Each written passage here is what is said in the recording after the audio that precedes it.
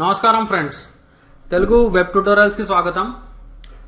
So WordPress first పార్ట్లో WordPress అంటే ఏంటి? వర్డ్ ప్రెస్ని ఎలా ఇన్స్టాల్ చేయాలి? సో ఇదంతా మనం చూసాం. సో ఇప్పుడు సెకండ్ పార్ట్లో మనము ఈ డాష్ బోర్డ్ ఈ వర్డ్ ప్రెస్ డాష్ బోర్డ్ అంటే ఏంటో తెలుసుకుందాం. సో ఈ డాష్ బోర్డ్కి మనం ఎలా వచ్చాం? మనం యాక్చువల్లీ లాగిన్ అయ్యాం. సో మీరు ఫస్ట్ పార్ట్ చూసినట్టయితే ఫస్ట్ పార్ట్లో ఒక డేటాబేస్ క్రియేట్ చేసి తర్వాత యూజర్ నేమ్ పాస్వర్డ్ ఇచ్చి మనము ఈ వర్డ్ ప్రెస్ డాష్బోర్డ్లోకి ఎంటర్ అయ్యామన్నమాట. సో ఇప్పుడు ఈ డాష్బోర్డ్ అంటే ఏంటి? ఈ డాష్ బోర్డ్ ద్వారా మనం uh, వెబ్సైట్ ఎలా క్రియేట్ చేయాలో చూద్దాం.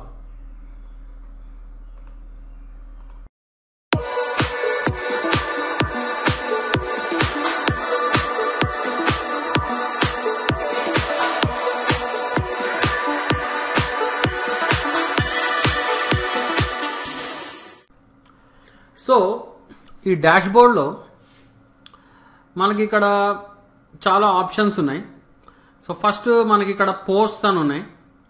Media pages comments appearance plugins tools settings. So ఇలా మనకి చాలా ఉన్నాయి.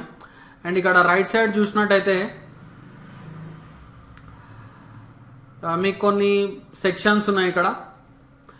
Customize your site. Okay? So అలానే కొన్ని ఆప్షన్స్ ఉన్నాయి. సో అయితే మనం ఫస్ట్ చేయాల్సింది ఏంటంటే ఇందులో అసలు మన వెబ్సైట్ ఎలా ఉంది? అసలు వెబ్సైట్ క్రియేట్ అయిందా లేదా? అండ్ లేకపోతే మనం ఫస్ట్ నుంచే వెబ్సైట్ వర్డ్ ప్రెస్లో చేయాలా సో చూద్దాం. సో ఫస్ట్ స్టెప్ ఏంటంటే వర్డ్ ప్రెస్ మనకి ఆల్రెడీ వెబ్సైట్ క్రియేట్ చేసేసింది. ఓకే? ఒక రఫ్గా ఒక వెబ్సైట్ని క్రియేట్ చేసేసింది. సో ఆ ఆప్షన్ ఎక్కడ ఉందో చూద్దాం. అంటే మన వెబ్సైట్ వర్డ్ ప్రెస్ ఎలా క్రియేట్ చేసిందో చూద్దాం. సో మీరు ఇక్కడ టాప్లోకి వస్తే ఇక్కడ మీకు ఈ ఆప్షన్ కనిపిస్తుంది. సో ఇక్కడ ఒక హోమ్ ఐకాన్ లాగా కనిపిస్తుంది. ఈ ట్రావెల్ సైట్ అనేది మనం స్టార్టింగ్ యూజర్ నేమ్ పాస్వర్డ్ ఇచ్చే టైంలో మన సైట్కి ఒక టైటిల్ ఇచ్చామన్నమాట. సో ఆ టైటిల్ మనం ట్రావెల్ సైట్ అని ఇచ్చాం. సో తర్వాత ఇక్కడ కింద విజిట్ సైట్ అని ఉంటుంది. సో విజిట్ సైట్ సో చూడండి. సో విజిట్ సైట్ అని క్లిక్ చేయగానే మనకు ఒక రఫ్ సైట్ ఇలా ఓపెన్ అయింది. సో చూస్తే ఇది ఒక అసలు వెబ్సైట్లోనే లేదు. కాకపోతే వర్డ్ ప్రెస్ మన కోసం వెబ్సైట్ని ఇలా క్రియేట్ చేసేసింది అనమాట సో దీన్ని మనం టోటల్గా మార్చేయాలి ఇప్పుడు. ఈ వెబ్సైట్ మనకి ఎందుకంటే మనం ఈ వెబ్సైట్ని యూజ్ చేయం. సో టోటల్గా మనం ఈ వెబ్సైట్ని మార్చేసి మన ఓన్ వెబ్సైట్ మన సొంత వెబ్సైట్ లాగా మనం క్రియేట్ చేసుకుంటాం అనమాట సో మళ్ళీ మనము ఇక్కడ డాష్ బోర్డ్ అని క్లిక్ చేద్దాం. ఓకే. సో నెక్స్ట్ మనము ఫస్ట్ చేయాల్సింది ఏంటంటే అసలు మన వెబ్సైట్ని అసలు ఇంకా కొంచెం బెటర్గా మార్చుకోవాలి. ఓకే? సో బెటర్గా మార్చుకోవాలంటే ఇక్కడ చూడండి appearance and themes appearance and themes అని ఉంది. సో థీమ్స్ అంటే ఏంటంటే రెడీమేడ్ వెబ్సైట్స్ అనమాట అంటే ఇక్కడ మీకు చూడటానికి చాలా కొన్ని థీమ్స్ కనిపిస్తున్నాయి. ఓకే? అంటే స్టైల్స్ అనమాట మన వెబ్సైట్ స్టైల్ ఎలా ఉండాలి. So just one two three ఇలా కనిపిస్తున్నాయి అంతే. సో ఇంకా మీకు కొత్తగా రా కొత్త థీమ్స్ చూడాలంటే ఇగో ఇక్కడ మీకు యాడ్ న్యూ అనే బటన్ ఉంది. సో జస్ట్ ఈ యాడ్ న్యూ బటన్ క్లిక్ చేయండి. So add new button click చేస్తే చూడండి ఇక్కడ మీకు ఇంకా కొన్ని థీమ్స్ కనిపిస్తున్నాయి. ఇంకా ఎక్కువ థీమ్స్ కనిపిస్తున్నాయి ఇక్కడ. చూడండి. అండ్ ఇవి ఇంకా కొంచెం నీట్గా అట్రాక్టివ్గా ఉన్నాయి. ఇందాకటి థీమ్ లాగా చాలా బోరింగ్గా లేవు.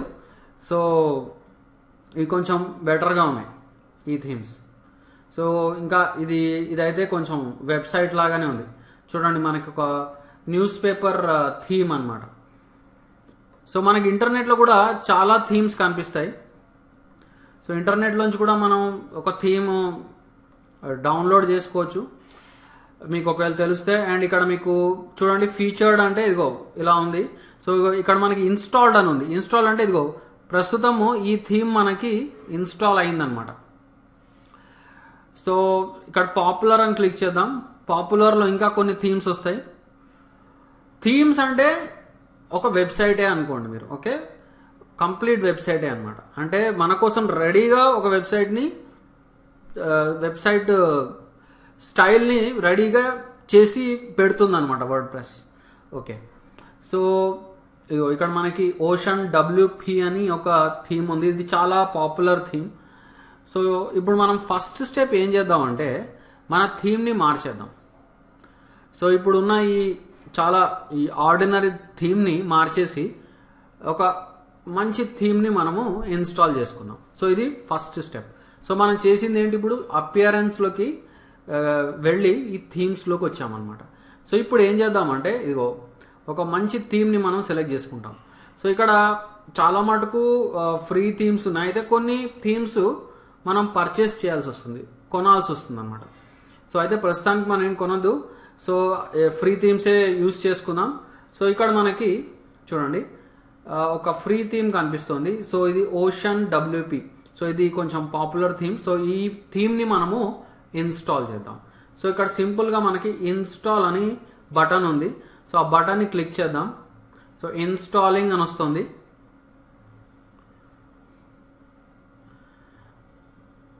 సో ఇది కొంచెం టైం తీసుకుంటుంది ఇన్స్టాలింగ్ అని.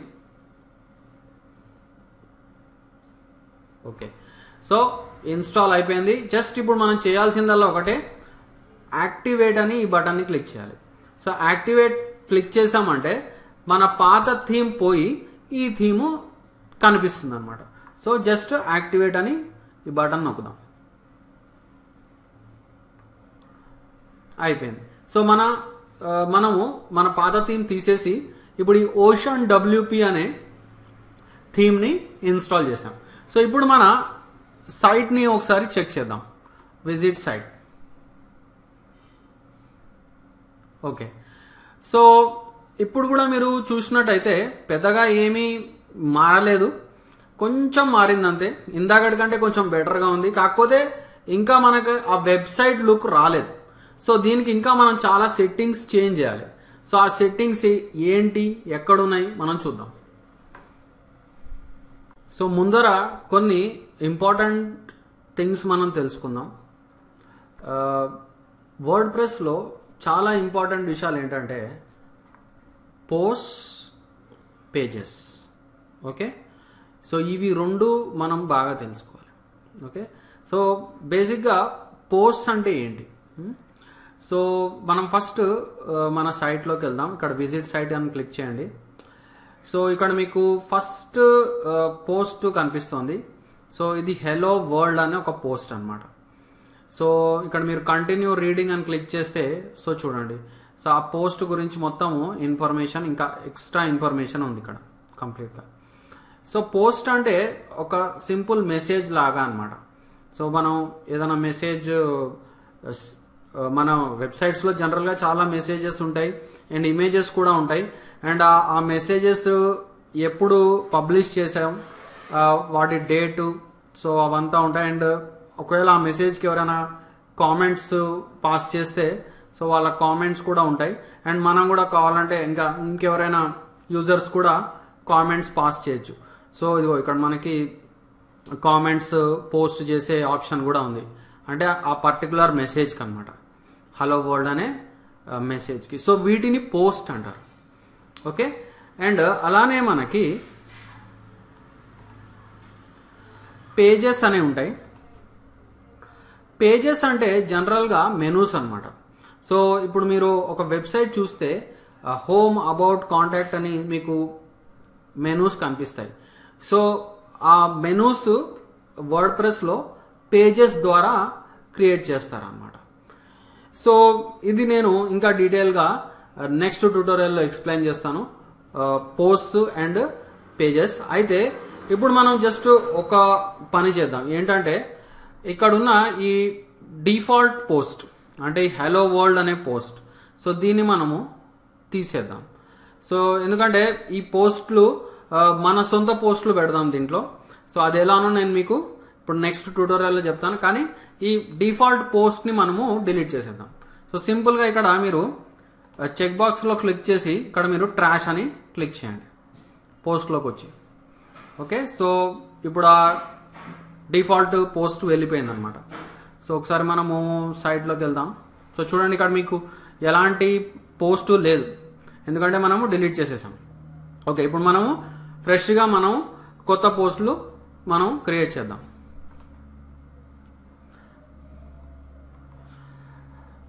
ఓకే సో uh,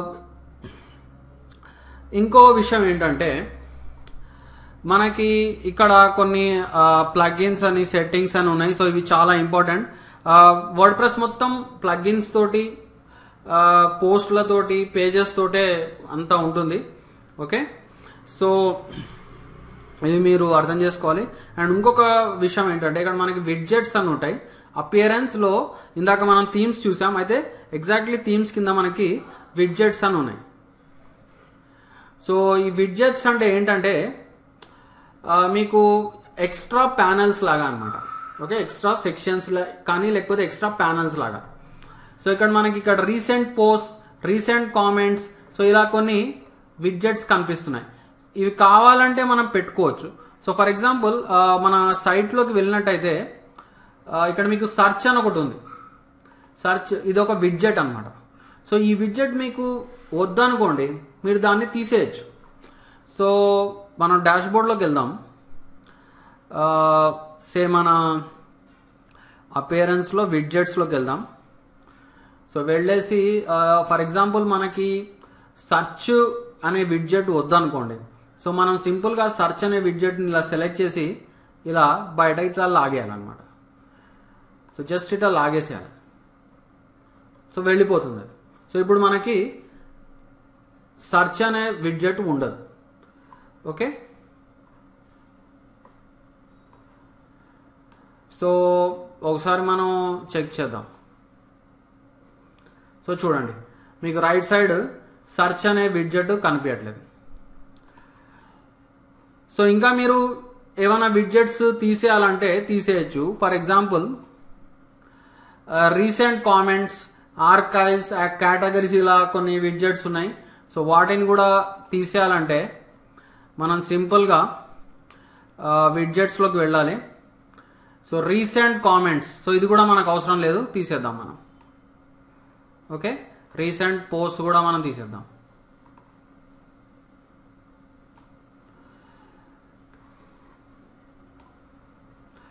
సో అలానే uh, ఆర్కైవ్స్ కూడా తీసేద్దాం మనం. కొంచెం జాగ్రత్తగా తీసేయాలి ఇక్కడ. సో చూడండి అది అది సరిగ్గా వెళ్ళట్లేదు అది. ఓకే. సో ఇప్పుడు ఒకసారి మనము విజిట్ సైడ్లోకి వెళ్దాం. సో చూడండి రైట్ సైడ్ మీకు comments recent comments recent posts archives అవి ఏవి కనిపించట్లేదు. సో ఇలా మనము ఫస్ట్ మెల్లమెల్లగా మన వెబ్సైట్ని కస్టమైజ్ చేస్తూ ఉంటాం అన్నమాట ఓకే? సో ఈ ట్యుటోరియల్లో మనము జస్ట్ డాష్బోర్డ్లో ఉన్న కొన్ని మెయిన్ థింగ్స్ గురించి బ్రీఫ్గా తెలుసుకున్నాం. సో ఇప్పుడు నెక్స్ట్ ట్యూటోరియల్ మీరు కంపల్సరీగా చూడండి. సో దాంట్లో మనం ఇంకా కొన్ని కొత్త విషయాలు తెలుసుకుంటాం. So keep watching my tutorials and don't forget to subscribe thank you for watching